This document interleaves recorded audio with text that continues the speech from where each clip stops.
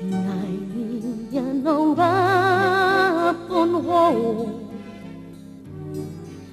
Dari parlautu na dyan Alay di doko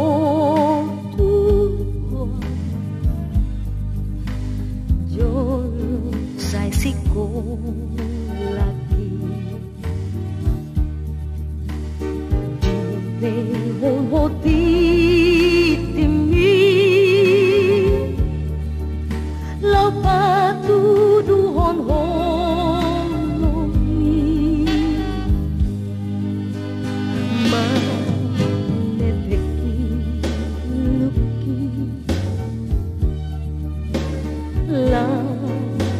por